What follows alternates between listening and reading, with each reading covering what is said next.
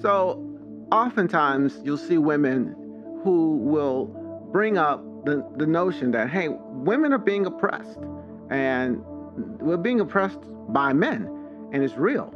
And we want accountability for that. We want it to stop basically. And what men will say, well, yeah, yeah, you're right. W- women are being oppressed by men, but guess what?